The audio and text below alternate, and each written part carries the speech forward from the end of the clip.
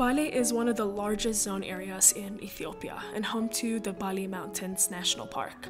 Its Afro alpine climate is set to host the highest incidence of endemic wildlife per area in the world. These mountains get less of a spotlight compared to the mountains in the northern part of Ethiopia, but I think they're just as fascinating. I always wanted to visit, but it has been a challenge due to the remoteness. My time had finally come to make this trip, and I'm glad I saved it for this time. I believe things happen and don't happen for the best. Going at this time with these circumstances was just very ideal for me. I went with a small group of photographer traveler friends on a really comfortable 4Runner, which is ultimately the best way to travel. The peak of this trip was the moment we reached the second highest point of Ethiopia at the Tullu Dimtu summit after a long hike. We then spent our last night camping in a dense forest with so much mystery in a small town deep in the Harena forest. This trip was very special as I connected with everyone I came across and went with. It was a trip where Mother Nature and Earth surprised me again. I explored part of Ethiopia that is just unique even to the world. This place is like no other, so get ready to explore the Bale Mountains National Park.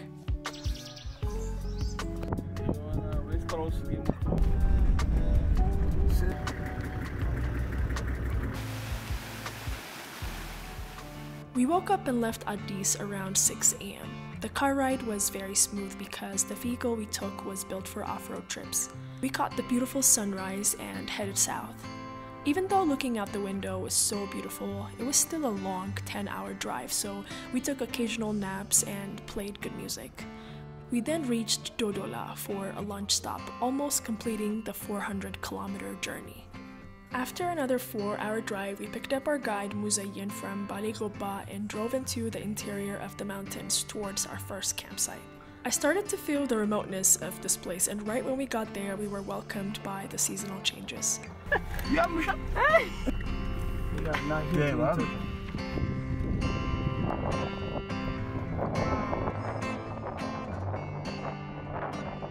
We saw an interesting place when we got out of the car. It was once watery, but then dried up, and only rocks were left when we arrived at the scene.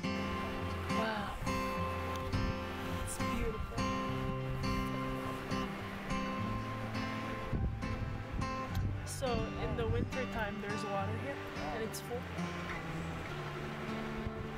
Air was heavy to breathe up here, and I realized how high up we were. The last thing left between us and our first campsite was a short hike. Oh my god! Bale offers more than just a hike, I must say. There's so much to see and do going between any two points. Um, that used to be a waterfall. It dried up because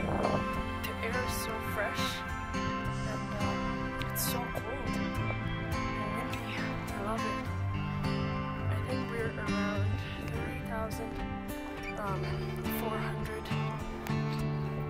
meters up.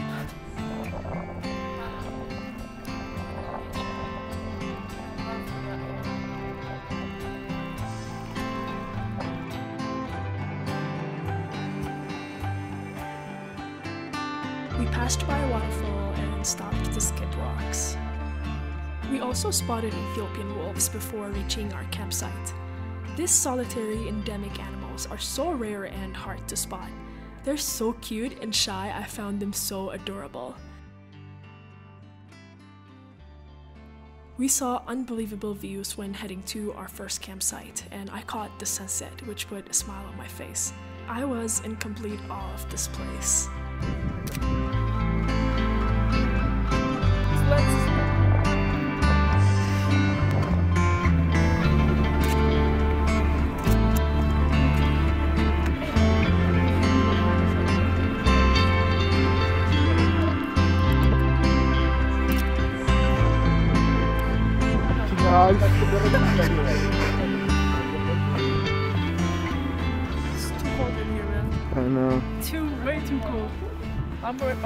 five layers.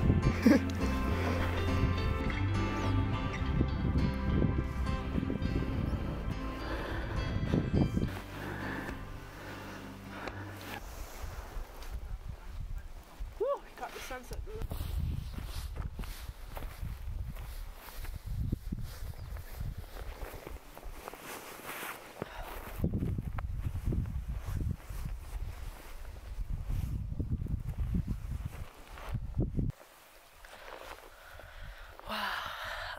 In awe of this place.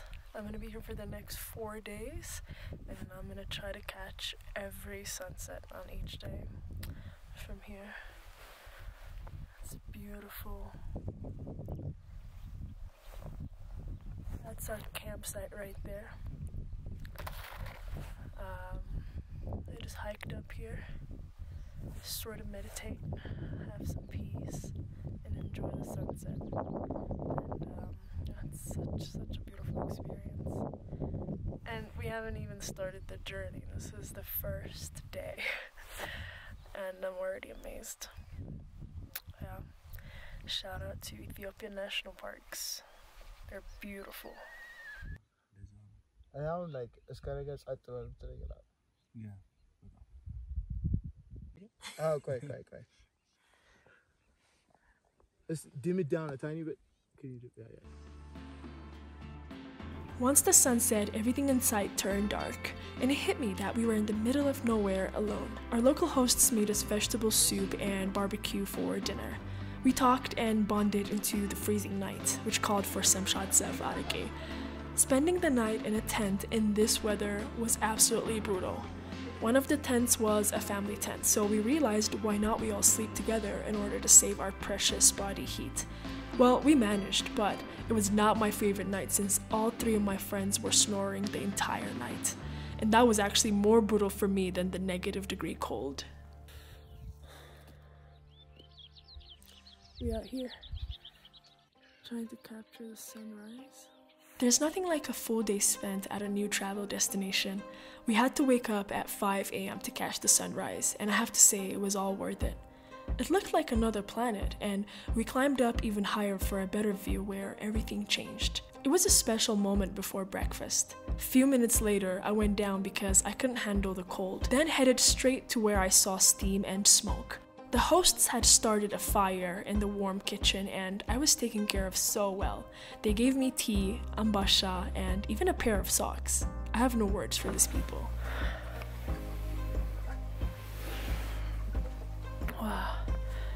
Today's one of the coldest mornings. I'm like literally sitting under the fire.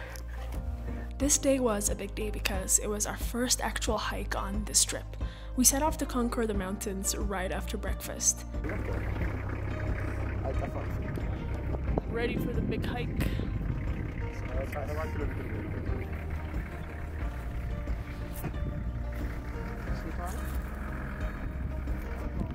The scene kept changing rapidly and consistently throughout the entire journey. We were going to the second campsite, which had an even higher elevation.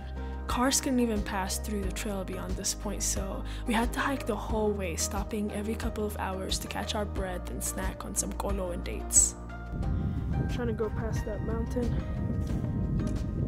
Definitely, I'm wearing black and Ooh, buddy. second hike no camping site. Second second camping site. Oh how many kilometers? 10 Oh, uh, 10. oh. No, no, no. We're doing 17. 17 kilometers. Jesus i take that back. Oh this is what happens when you don't count. You just gotta hike. Ah, bruh. look at this guy. No way. right here. Are, are we there yet Bruh, am I? As challenging as it all was, the struggle of walking these long hours was well worth it. The inner peace I get during these hikes keeps me going in life. Everywhere I looked, I took in incredible beauty that left me speechless. We saw many herds of nyala and sounders of warthogs roaming in the vast fields. We stopped on the way to our site for a quick lunch. Honestly, our first day of hiking wasn't bad at all. We traveled at a decent pace and reached our campsite on time. This is our second campsite. That will be my room. This campsite was full of wild animals and whitish green shrubs. These plants seem dead because of the cold weather, but yet very alive. I saw some horses here returning from the open fields without their owner around. I was told that they are so in tune of their environment, they find their way back precisely at the right time every day. It was such a beautiful evening. We started a fire a few hours later, had dinner, drank tea, and talked late into the night. On this day, I actually achieved my long-time goal of stargazing in the clear sky. It was one of my favorite nights because I got to relax free from stress looking at the stars for hours. I never get to do this in the city, so I stayed long after everyone had gone to sleep.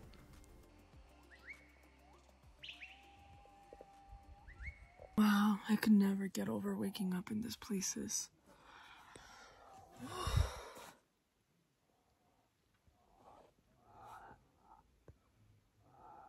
I can hear the sound of the animals.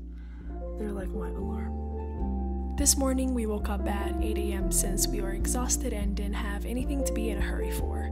The tent view was so nice. This whole trip often felt like a dream. We had breakfast and headed to complete the day of extremes. For those of you who've never heard of Tullu Dimtu, it is the second highest mountain in Ethiopia behind Ras Dashen in the Semien Mountains.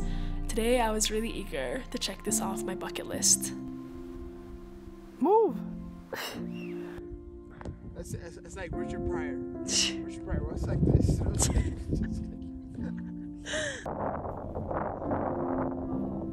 Can't believe we camped here. They probably were like next to our tent Yeah. Last night? yesterday. Yeah.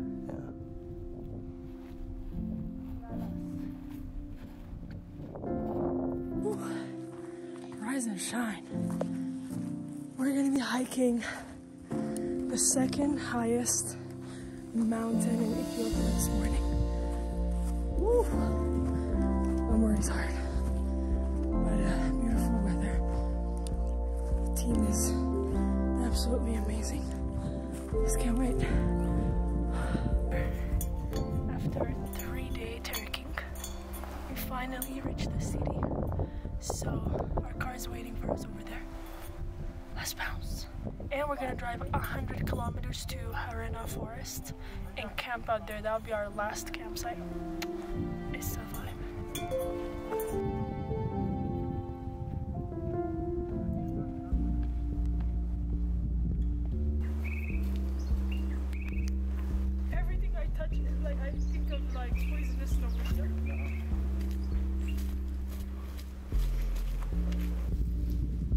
ጠንካራ ኤሉ ኮፊ ስተ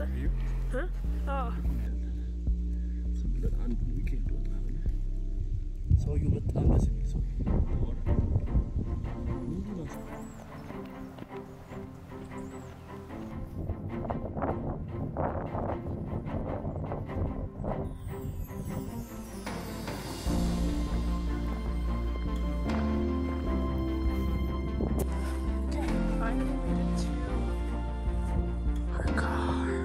miss us? You did not miss us? I don't. We went to our car and our driver helped us cover car friendly roads. We then climbed the rest of the way, stopping for coffee once. The Tullu Dimtu peak was located in Goba. We had finally made it, and the view from the top was unlike anything I've seen so far. It was so high with a clear view of the world beneath. And sorry for repeating this so much, but it really looked like we were somewhere outside of Earth and looking down like aliens. We made it.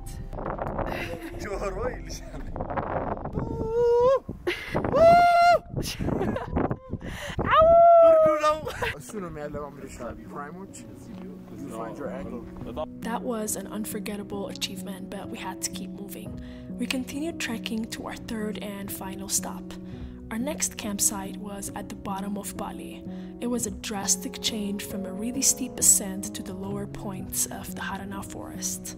We marched on and finally reached Rira, a special small town I've always wanted to visit. It rained when we arrived. It was a beautiful wet scene to witness and photograph. I smelt the earthy aroma of the soil. This town is well known for its dark vegetable called gomen and wild honey from the forest. We had quite an appetite after all the mountain climbing, so we stopped by a humble shack for some late lunch. This has to be one of the best gomen meals I've ever had in my life, followed by some fresh wild honey and bread. We finished up then, the sun came out right on time. Oh, this is nice. Get closer. Yeah, yeah. Is Ez igen, van az a csúnyút. Bakarok, ahogy te fogod. Ja, kamera belem, Steve. Zanis? Ja, gane.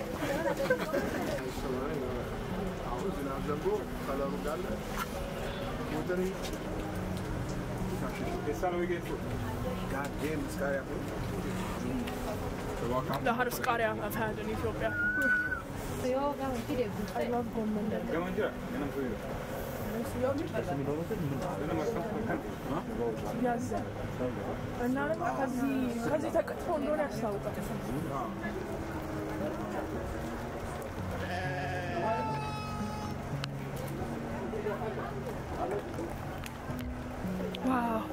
we just arrived at the Rira village in inside Harena Forest, and we're gonna drive down and camp inside the forest. It's gonna be a crazy scene.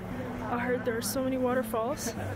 I'm gonna attempt to swim in the cold, but um, yeah, welcome to Rira village.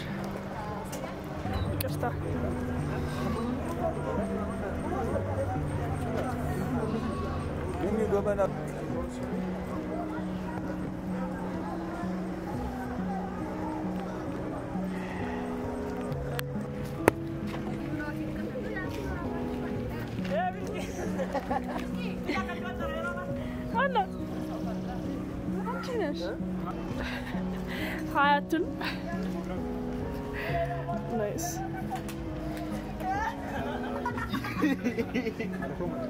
Es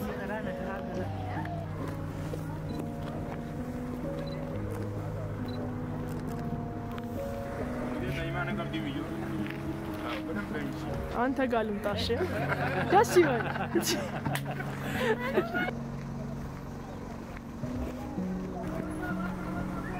በር ላይ መጣሽ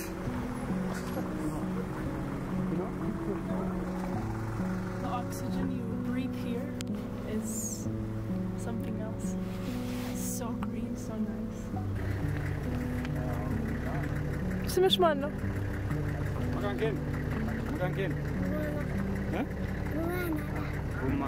ሩማና ታምሪያለሽ። ባሬዱ ባሬዱ Aw. We took this chance to walk around town and interact with the townsfolks. We talked with the people and took some pictures of them. We then had some forest coffee and called it a day. Second campsite Atul? The living room, the crib, the kitchen, Not the the everything, the bar. Huh? bar. The bar for tonight.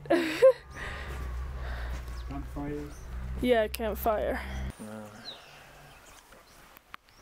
ወደፊት ያወጣል። ጥሩ የሆነው Oh, really? ስንት ሚሊዮን ምናምን ገዝቶ ሰውየው ሶስት ዓመት አልሰራም።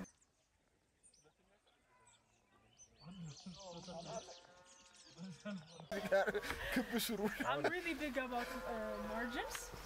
ኦኬ እና የሆነ በአንዱ ሳይድ አምባላንስድ ነገር ከሆነ ይኸው መናገሻ እኔ ወልካም ወልካም።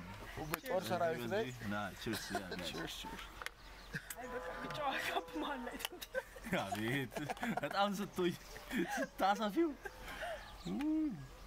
it was so calm once we reached our final campsite after a challenging yet rewarding experience. We had a warming campfire conversation and grew even closer after our last big adventure. Our driver was so hilarious that I was unable to eat my dinner properly because of all the laughter. These are the moments I live for out and about, breaking my day to day routines in the wilderness.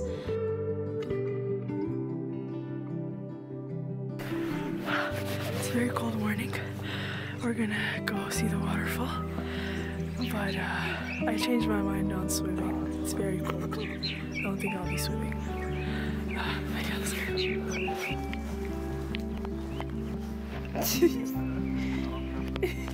ሙዚ የዋተርፎሉ ስም ምንድን ነው?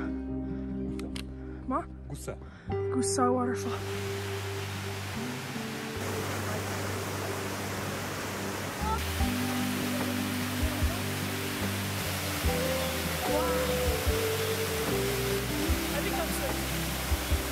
sorry.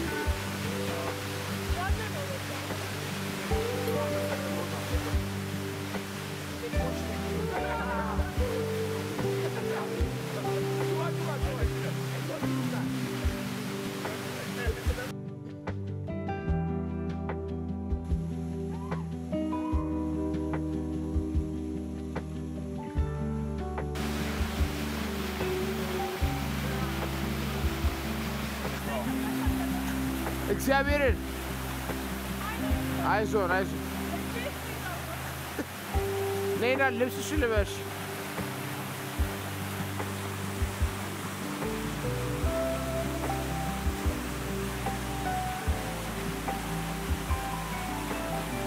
Wow. Wow. Finally back to life.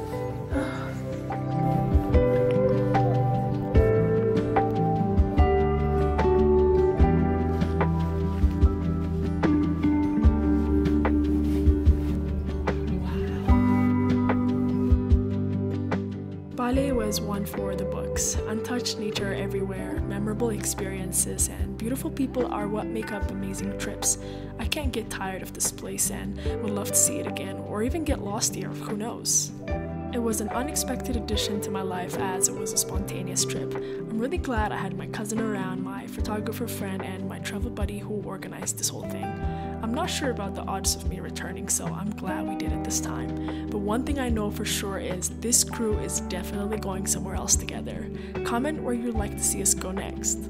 Thank you so much for watching until the end. It means a lot to me that you guys take your time to watch what I want to share. I hope I inspire you to travel and explore more or taught you a thing or two about the hidden gems I believe you must see someday. See you next time.